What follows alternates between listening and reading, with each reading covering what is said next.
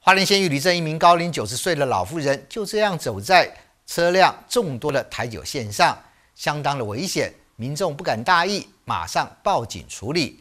远警到了现场，是看到了一位白发苍苍的妇人，面容虚弱，慌张的全身发抖，不知道该怎么办。远警先将妇人带回了派出所，不过这名妇人疑似有失智，一问三不知。后来是透过了人脸辨识系统。花费了一段时间，查出了长者的身份，才将他平安送回家。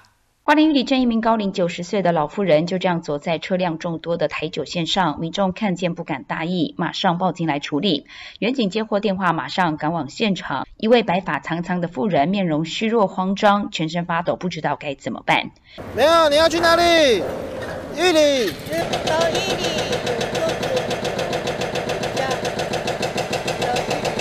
到玉里，那我载你到玉里，好不好？远景先带妇人回派出所，不过妇人疑似有失智，一问三不知。后来透过人脸辨识系统，花费一段时间查出长者的身份，平安将长者送回家。对，我现在载你回去。你吃饭了吗？有没有吃饭？你现在肚子会不会饿？分局长陈卫文说，失智症患者是走失的高危险群，如果独自外出出走走失，会提高意外发生以及伤亡的几率。也提醒家属应该要为家中失智长者佩戴防走失的手链，以防走失的时候可以及时联络。也建议尽可能不要让长者独自一人外出，以免发生危险。记者高双双玉镇采访报道。